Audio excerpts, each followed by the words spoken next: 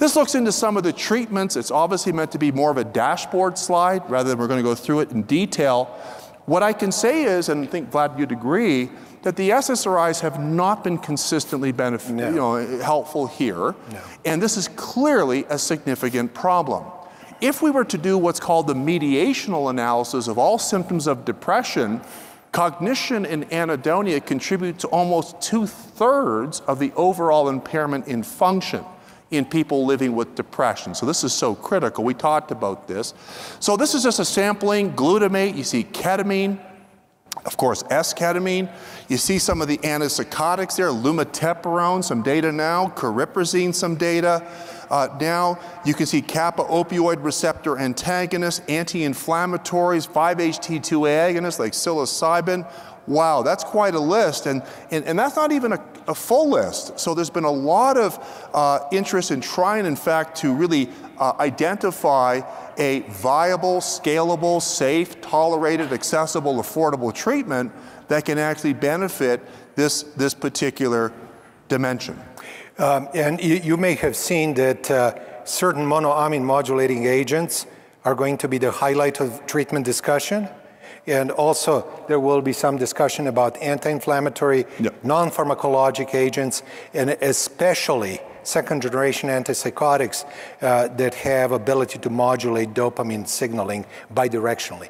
So uh, let us look at uh, first uh, agomelatine. Agomelatine mo uh, modulates uh, melatonin receptors, but it is a 2C antagonist. You've answered this question before. 2C antagonism does what with dopamine? Up or down? Dopamine up. Look at the comparison with venlafaxine. Venlafaxine 75, 150. Venlafaxine above 225 is noradrenergic in part. This dose is mostly serotoninergic. It does not help a whole lot with uh, improvement in anhedonia.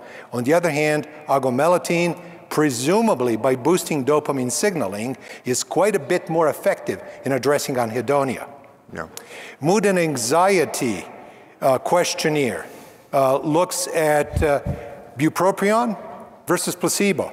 Bupropion increases norepinephrine and dopamine signaling. Uh, its first metabolite, hydroxybupropion, even has more affinity uh, for a dopamine transporter, maybe a little bit more helpful in that respect.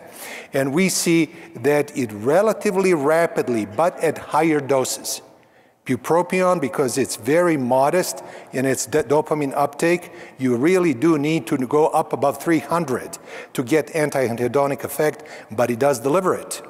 And what we can see is, in terms of this connectivity, we have seen inflammation disconnects. On the other hand, with the presence of bupropion, there is connectivity between prefrontal areas and nucleus accumbens.